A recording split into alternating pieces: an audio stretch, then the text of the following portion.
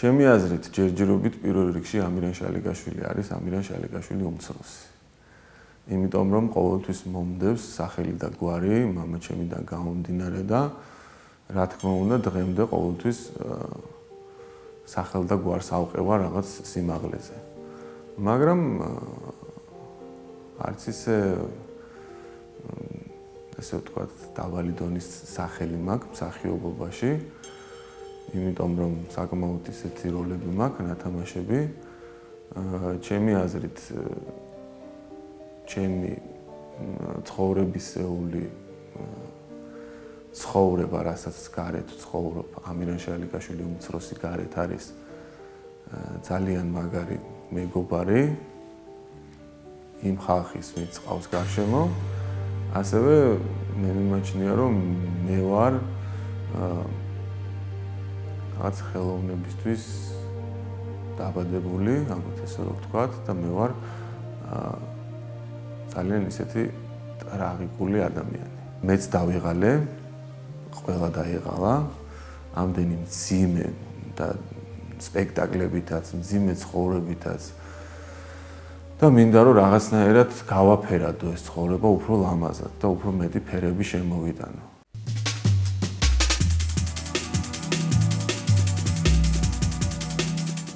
დავიბადე ისეთ ოჯახში, რომ აა უბრალოდ სხვა გზაც არ დამიტოვეს ჩემმა მშობლებმა, რომ რაღაცაზე მეთიქრა.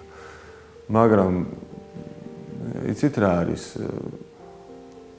მე თვითონ რაღაცნაირად ისეთი კაი კაი რაღაც მარგალიტები და კაი ოქრო დავინახე ამ დუმილის პოეზიაში ესე რომ მამაჩემი ხშირად იძახის და ეს ამ სიტყვებს რომ სიტყვა არის ვერცხლი და დუმილი არის ოქრო.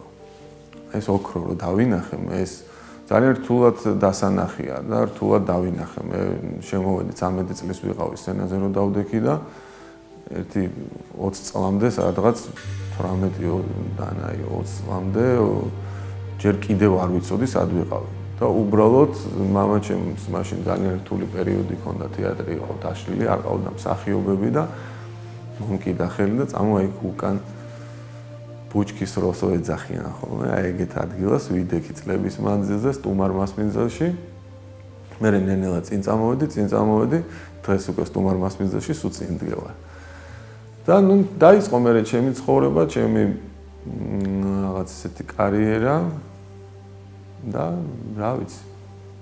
აა არჩევანი გავაკეთე მაინც დღესდღეობით მსახიობობაზე ვარ გაჩერებული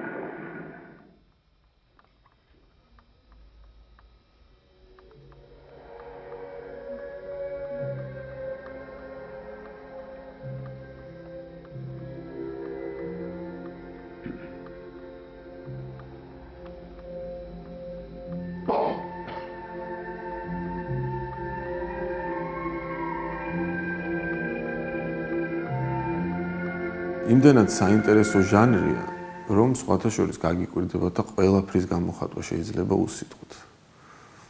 ну, რა თქმა უნდა, რაღაც რაღაც დეტალების დახმარებით, მაგრამ აა მამაჩემ ზუსტად აი რაღაცა ზეციური სამყარო შექმნა. არანაირი რეკვიზიტი, არანაირი რეკვიზიტი, თქვა რაღაც დეტალები არსებობს, მიზერული დეკორაცია, არანაირი აა ანუ მაყურებელს არ არ მისცა საშუალება რომ დეკორაციით რაღაცა დაენახა თქვა სად ხდება ეს სცენა, როგორ ხდება და ასე შემდეგ. ანუ მან შიშო სცენაზე მსახიობებით და მსახიობის ხეულებით შექმნა დიდი პიესები, პოემები, ნაწარმოებები გადმოიტანა, ანუ ხა როგორც ის არის სტუმარ მასმინძელი ეს მე ხშირად ვიმეორებ ამ სპექტაკლს, იმიტომ რომ ეს არის ჩვენი მარგალიტი და ერთ-ერთი სახელმძღვანელო, რითითაც ბავშვები, ახალგაზრდები იზრდებიან. სტუდენტი თუ შევა სტუმარ მასმინძელს ითამაშებს, ჩვენ ვეუბნებით ესე შიდა სამზარეულოს გეუბნებით, რომ შენ ახლა მოინათლე ქართული პანტომიმით. ანუ ჩვენთვის სტუმარ მასმინძელი არის რაღაც საოცრება. ასევე არ არის აქ მარტო სტუმარ მასმინძელი, ტერენტი გრანი, წმინდა გიორგი, აქ არის ფიროსმანი, კიდევაც დაიზრდებიან ეს ანუ რაღაც სულ ქართული ჩვენი საქართველოს მიხედვით არის ყველაფერი გაკეთებული. ამიტომ ეს ყველაზე რთული იქნებოდა მამა ჩემისთვის, რაც ჩემი აზრით ღვთისგან მოცემული რაღაც ესეთი ნიჭია რა, განსხვავებული. იმიტომ რომ საერთოდ პანტომიმის ჟანრი ну, გამოჩნდნენ ხა ჯგუფები სოფლიოს მასშტაბით, ვინც უკვე მივიდნენ იმ აზრამდე, რომ უფრო უნდა მასშტაბური გახდეს ეს ხელოვნება, მაგრამ წლების მანძილზე, საუკუნეების მანძილზე ეს იყო მოცეკვავეების ხელოვნება და იყო ქუჩის ხელოვნება, რომელსაც უბრალოდ ანუ ორი მასამა კაც, ორი სამი კაცი ქმნიდა რაღაცა სანახაობას შოუს ელემენტებით და იქ არ იყო დატვირთული არაზროს რაღაცა ისეთი სიუჟეტით, რას თქვა ხა ჩვენ გვაქვს. მაგიტომაც მე იმ დღეს შემთხვევით შემხვდა აა გერმანიაში იყვნენ გასტროლებზე 80-იან წლებში მამაჩემი და მისი კოლექტივი. და იქ ან ბერლინში კერძოდ და იქ არის ინტერვიუები ჩაწერილი. და მათ თქვეს რომ ეს მარსელ მარსოს სიტყვები იყო რომელიც მათ თქვეს გერმანიაში რომ ესეთი ნაციონალური ანსამბლი ჩვენ ევროპის მასშტაბით არსად შეგვხედრია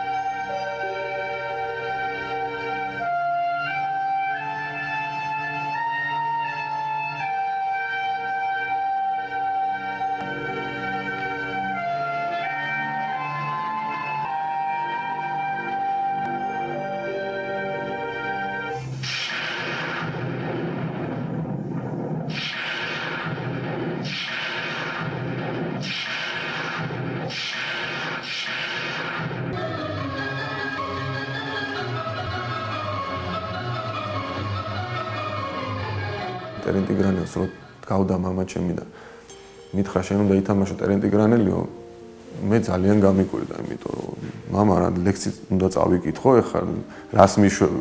მეტყველება მე არ გამივლია, დრამ არ დამიმთავრებია დრამა და ეხლა ნუ გამომიყვან ლექს უნდა წამაკითხებდა. ყველას უკვირდა როგორ შეიძლებოდა პოეტის დადგმა. პოეტის ცხოვრების გადმოტანა სცენაზე და ასე შემდეგ და მისი ლექსების გაცოცხლება. და მან ისეთ დონეზე მოახერხა, რომ აა სპექტაკლი შეაფასეს როგორც საუკუნის სპექტაკლად. და ჩემი პირველი ესეთ მთავარი როლი იყო ეგ და ჩემი საყვარელი სპექტაკლია, რომელზეც ვიძახი, რომ რამდენი წლისაც არ უნდა ვიყო, მაგ სპექტაკლს არავის არ მიცს. ცხოვრების ბოლომდე მაგას ვითამაშებ აი ესეთი საოცრება გამოვიდა.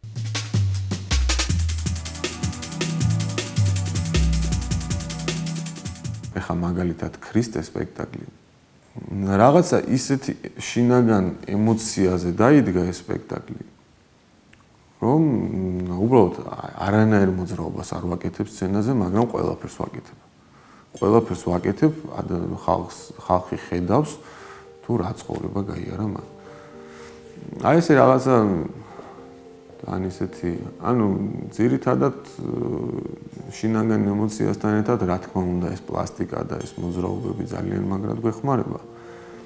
მაგრამ ძალიან რთული ხელოვნება მინდა გითხრათ და ამას ჭირდება წლები, ამას არ ყოფნის 10 და 15 წელი.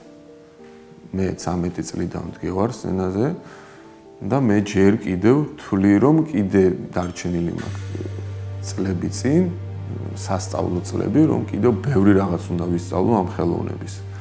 ჩავწნე მე მაქვს აუბარი მსახიობობის ხრიდან და თქვათ იმ სცენაზე სადაც ვიმყოფებით ჩვენ. აი მე მაგალითად ხო სიმართლე გითხრათ ну ეხა სტუდენტი რო შეყავს რა თქმა უნდა იმაშელება პარტერში დაინახოს ვიღაცა ვინზის მისი მეგობარი. აი მე მაგალითად არც ერთი სპექტაკლის დროს არასოდეს არ დამინახია საერთოდ პარტერი. პარტერი ჩემთვის არის ბნელი. არ არსებობს ჩაბნელებული აა აკლონის დროსაც რაღაც გარკვეული პერიოდი თვალებში მაქვს ბინდი. მე როცა შევდივარ სცენაზე, ჩემთვის არ არსებობს აღარს კულისა, გარეთა სამყარო და აღარს პარტერი.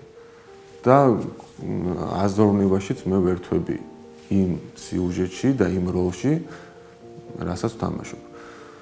აი ესე როდესაც იქნება ძალიან ბევრი ყავს ჩვენ ეგეთი პროფესიონალი მსახიობები, ასეთ დონეზე როცა უკვე მიდიხარ და ადიხარ ესეთ სიმაღლეზე, უკვე შენ რა თქმა უნდა ძალიან ადვილად ფლობს სცენაზე იმ როლისთვის, იმ მოძრაობას, რასაც იყენებ. ანუ ეს უკვე მე შეიძლება ჩემთვის რაღაც დონეზე უკვე გაადვილდა. მაგრამ ჩემთვის რთული ის არის რომ იმ როლში ემოციით დავტვირთო ის როლი და ნუ რა თქმა უნდა ეს ყოველთვის რთული იქნება. ასევე აი პირველი გასვლა მახსოვს სცენაზე, როგორც ნერვიულობდი, დღესაც რო გავდივარ ზუსტად იგივენაირად და უფრო მეტად ნერვიულობ. არ არის ის რომ ტერენტი გრანელი რაც 1197 ჯერ გვაქვს ნათამაშები და აი გავალე ხა და არ არ მქონია არც ერთ სპექტაკლზე. რა არის დასამალი ხა დღევანდელი გლობალური პრობლემიდან გამომდინარე, მაყურებელი ხანზის 5 კაცი და ხანზის 50 კაცი. არა აქვს ჩემთვის მნიშვნელობა, ვინ მიყურებს, არა აქვს ჩემთვის მნიშვნელობა, რამდენი ზის მაყურებელი, რა თქმა უნდა, უფრო მაგარია ანშლაგი და უფრო დიდი ემოციაა, როდესაც უკვე პაკლონზე გადიხარ და მსახიობისთვის უფრო კარგია, მაგრამ იმ როლში, იმ თამაში, იმ სპექტაკლის ხარისხში თუ იმ რაღაც ჩემს სამყაროში, ჩემთვის არანაირი მნიშვნელობა არ აქვს.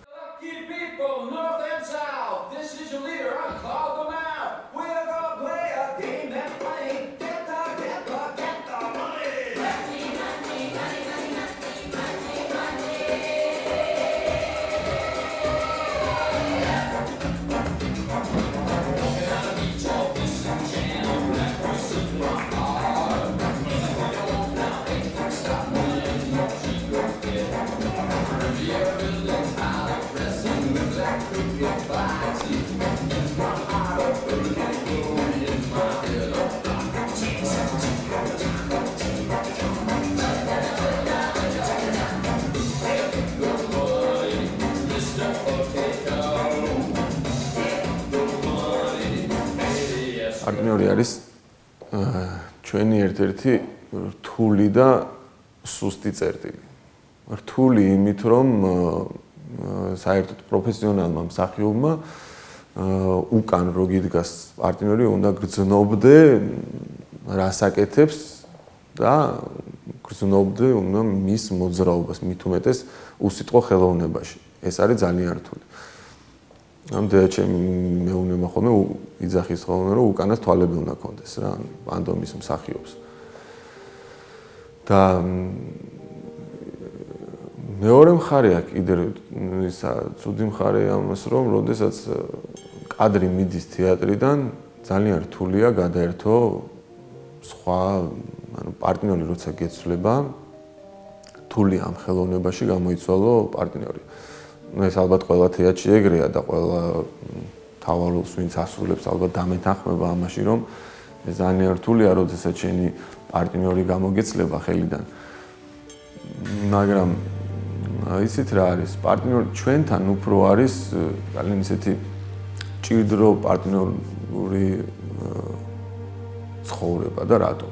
იმიტომ რომ სიტყვაში დრამაში საუბარში ну რეპლიკები აქვთ, იციან ერთმანეთის ტექსტს ისმენენ, სხვა ემოცია მოდის, ეხლა როდესაც ვსაუბრობთ მე თქვენ გესაუბრებით, შეიძლება რაღაც ესეთი თავძაბოთ, ავიმაღლოთ ხმა, თქვენ მიხვდეთ ხო ეს არის რაღაც რთულ თემაზე საუბარი თუ კაი თემაზე და ასე შემდეგ. აქ ჩვენთან წარმოიდგინეთ, რომ უსიტყვოთ ჩვენ ყველაფერი უნდა აუხსნათ, სიყვარული უნდა აუხსნათ. ელემენტარული სიყვარული. ეს არ არის რომ რაღაც აუხსნათ ისე რომ თქო გული დავანახეთ რაღაც ხელებით რაღაც. არ არის ეს მუნჯური ენა არ არის რა. ეს არის უსიტყვო ხელოვნება. ამას აა ნუ არავინ არ იფიქროს რომ რაღაცას ჩვენ ამ ყველაფერს პლასტიკით ხსნით არა. და ყველაფერს მოძრაობით ეს შინაგანი სიყვარული შინაგანი გრძნობის გრძნობით ახსნა. როგორც იგივენაირად შეყვარებული წყვილი თუ წყვილში თუ მარტო სიტყვებია, თქვენ თონეც იცით, რომ ის სიყვარული არ არის. როცა უკვე შინაგანი გრძნობაა და როცა უკვე დიდი სიყვარულია, იქ უკვე ეს შინაგანი გრძნობა ძალიან მოქმედებს ერთმანეთზე. ამიტომ აქედან გამომდინარე, ჩვენი სცენაზე პარტნიორული ცხოვრებაც ეგ არის. აქ მარტო სიყვარულზე არ არის, სიძულზე, რა თქმა უნდა, სცენები არის, სადაც ვთქვათ, ხოცავთ ერთმანეთს და ასე შემდეგ და ნუ იქ ძირითადად შინაგანი გზნობა, ნუ ამაზე რაღაც ჩავიხვი, იმდენჯერ ვთქვი, ძირითადად არის ეს უფრო მაინც შინაგან ემოციაზე დამოკიდებული ჩვენი პარტნიორული ურთიერთობა. ასევე რა თქმა უნდა არის ძალიან ბევრი ჩვენიში და მოლაპარაკების ისეთი დადგენილი მოძრაობები, რითიც ჩვენ ერთმანეთს ველაპარაკებით და ამით ვერ მიხვდება მსახიობისა მაყურებელი ჩვენ ერთმანეთს ამით ვესაუბრებით და ვაგებინებთ.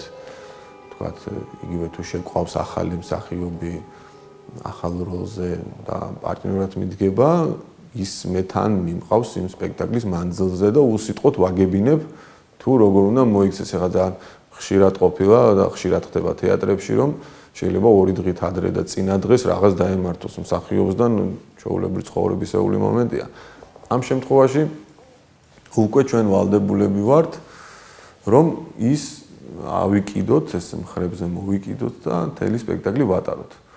თან ეგ საინტერესო რა ხდება, წამყვანი მსახიობი მეરે უკვე ორმაგად, სამმაგად თამაშობს. და რაღაც განსხვავებული სპექტაკლი გამოდის. ან ძალიან კარგი გამოვა, ან ჩავარდება, რა თქმა უნდა, იმიტომ რომ ახალი მსახიობი შემოდის სცენაზე. მაგრამ ჩვენ ვალდებულები ვართ წამყვანი მსახიობებმა, რომ მოუმატოთ იმ ემოციას, მოუმატოთ იმ პლასტიკას, რომ მაყურებლის თელი ყურადღება მაქსიმალურად ჩვენსკენ გადმოვიტანოთ, რომ ის უკვე გამოჩდეს, არ გამოჩდეს რაღაც ის შეცდომები არ გამოჩდეს, რაც თქვა იმ ახალ შესულ პარტნიორს მოსდევს.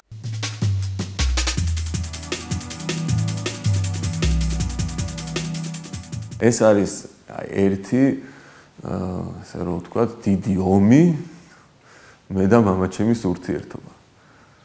იმიტომ რომ მე როდესაც მთლიანი მასიური სცენები იდგმევა, მე ვერაფერს ვერ ვაკეთებ საერთოდ და აი როგორ გითხრათ, უბრალოდ შემიძლია გავიარო სცენაზე, გამოვიარო, საერთოდ არ შევიდე, არის ყვირილწივილი, სად არის ბურდღუ, ნუ ბურდღუს მეძახიან მე, სად არის უნდა იყოს სცენაზე, მაგრამ მე არ ვარ სცენაზე, ან ჩავილი, ჩამოვლი, ან სკამი მომხდება, ან მაგნიტოფონი მომხდება, მოკლედ და არის ძალიან დიდი ომი რა.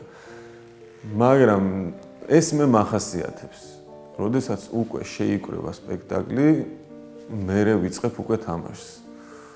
და ნუ ეხლა ეს უფრო თავიდან ადრე ხდებოდა, ნუ ეხლა ბოლოს სპექტაკლი საქართველოს ლამაზო დადგა მამაჩემმა მან იმდენად არ მომختار ეს ურთიერთობა, იმიტომ რომ უკვე იცის მამაჩემაც, რომ ნუ ეგეთი მსახიობი ვარ, არ შემიძლია რომ არიან მსახიობები, როგორც კი კონკრეტულ დავალებას მისცემს რეჟისორი, ეგრევე შეუძლია შეასრულოს.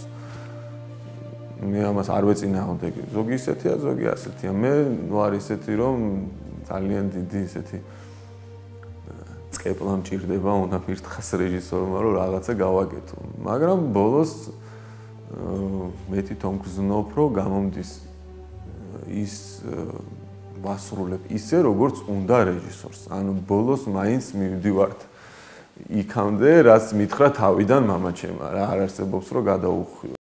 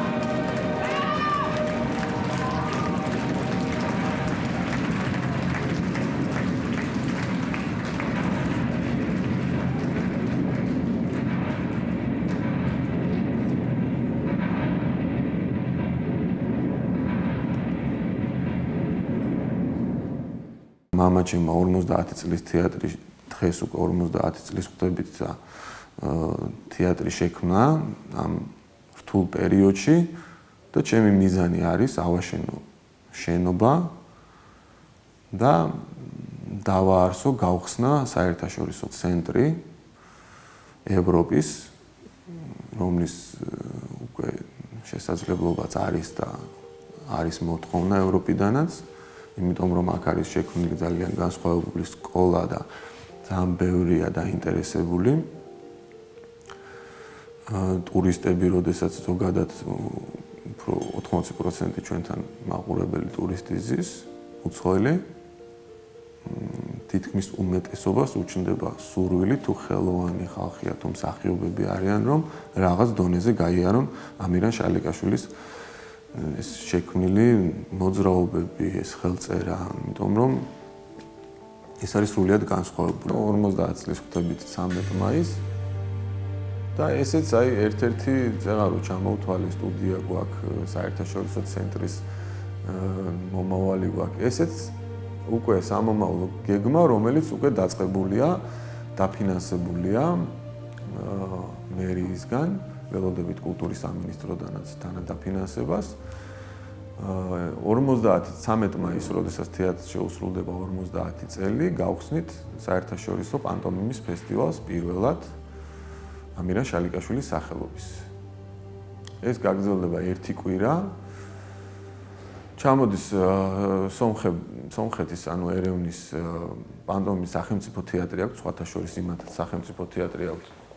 თუ არ ვწდები 78-79 წელს უნდა იყოს გახსნილი. მაგ პერიოდში ჩამოდის იაპონიიდან ჩამოდის კაბუკის თეატრის მსახიობი ძალიან ცნობილი თეატრის მსახიობი და საფრანგეთიდან ჩამოყავს აი წეგან ვახსენე მე მიმების საერთაშორისო დღევის დაარსეს მარსელ მარსოს დაბადების დღესთან დაკავშირებით ესენი არიან სამი ადამიანი და ერთ-ერთი გენერალური დირექტორი ჩამოყავს მასტერკლასის ჩასატარებლად რომ მარსელ მარსოს ისტორიაზე მოგვიყვეს და დღევანდელ ახალგაზრდობას უფრო დაწვრილებით აუხსნას თუ ვინ იყო ეს ეს დიდი პიროვნება რომ უფრო მეტად ისწავლონ. ასევე მონაწილეობენ მამაჩემის მოწაფეები, რადგან მე საერთოდ სულ ყველა ვეცადე რომ ყველა მოწაფეს მისლოდა ჩემი წერილი, ყველას დაუგზავნე.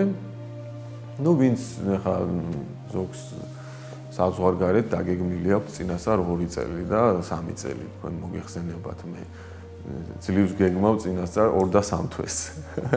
იმიტომ რომ არ ვიცი მე რა მოხდება. ამიტომ რამოდენიმე მოდი, ანუ რა თქმა უნდა, კახა მოვა ბაკურაძე, აქვე აგერ ჩვენთან გომურაშვილი მოდის კიდე გიორგი, მამაჩემის მოწაფე. გოგა ოსეფაშვილი იქნება ჩვენთან ერთად და თან საორგანიზაციო საკითხებში ყავს ჩართული და გვერდში მდგომი და ასე შემდეგ პატარა რამოდენიმე მოწაფეები თან ცალკე მასტერკლას ჩაატარებენ თან სპექტაკლებს გამართავენ. ანუ ერთკვირიანი ესეთი დღესასწაული გვაქვს, რაც პირველად მოხდება და ჩვენ დამთავრების შემდეგ უკვე ძალიან სერიოზულად დავიწყებთ მომავალი წლისთვის ივნისიდანვე დავიწყებთ მომავალი მაისისთვის მზადებას, იმიტომ რომ ევროპიდან ძალიან ბევრი გვინდოდა ჩამოგვეყვანა. ნუ ჯერეთის ფინანსების გამო შემცირდა, მაგრამ ძალიან ბევრს წინასწარა აქვს, როგორც თქვით, დაგეგმილი თვითონ ამ უცხოელებს და თეატრებს. ამიტომ მათი ის მოთხოვნა, ანუ უარი ჩვენ არ გვითქვია, მათი მოთხოვნა გადავიდა შემდეგ წელზე. ანუ უკვე არის რამოდენიმე საინტერესო ჯგუფები და ასევე დაემატება უფრო, რა თქმა უნდა, გავამდიდრებთ ამ ფესტივალს, იმიტომ რომ პანტომიმა არის საფესტივალო ყველაზე მაგარი. იმიტომ რომ ეხლა ვერ ვახერხებთ, მაგრამ წარმოიდგინეთ 15 და 20 ჯგუფი, როდესაც ჩამოიყვან პანტომიმისტებს, აქ არის ძალიან საინტერესო ერთი რამ, რომ შეიძლება სულელობა მოეწყოს დახურვის, და გახსნის და დახურვის პერიოდში, სადაც თელთფილის მოვიცავთ. ეს 15 და 20 ჯგუფი, მაინც ქუჩის ხელოვნება, მე მინდოდა ბათუმში ჩატარება ამის, იმიტომ რომ თელი ბულვარი მინდოდა პანტომიმის ბაზრობა მომეწყო ეს ეგრეთ წოდებული, რომელიც ყველას გამოაქვს თავისი პროდუქტი, ძალიან საინტერესო იქნებოდა, მაგრამ ნუ ეს გეგმები ყველაფერი სამომავლოდ არის. რეალურად ახლა უკვე გადაწყვეტილია ეს ფესტივალი და 13-დან 19 მაისამდე ჩვენ უკვე ხალხს ველოდებით ჩვენთან აქვე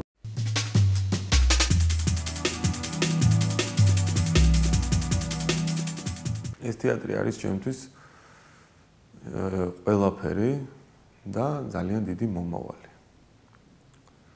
მე არ არსებობს რაც არ უნდა რამე დამემართოს ცუდი თუ კარგი თუ ვიშოვო ბევრი ფული თუ არ ვიშოვო, არ არსებობს მე რო აქედან სადმე წავიდე. ვინც არ უნდა გამაგდოს თუ არ გამაგდოს, მაინც არ წავა.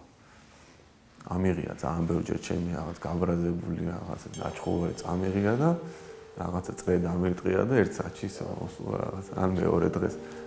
ან მამაჩემს გაუყრივართ რაღაც ნერვები მოშე. წადით თუ ყველა რო აგვიანებთ აღარ მოხვიდეთ და დაუკეტია თეატრი და მეორე დღეს ისევ ვზივართ აქ.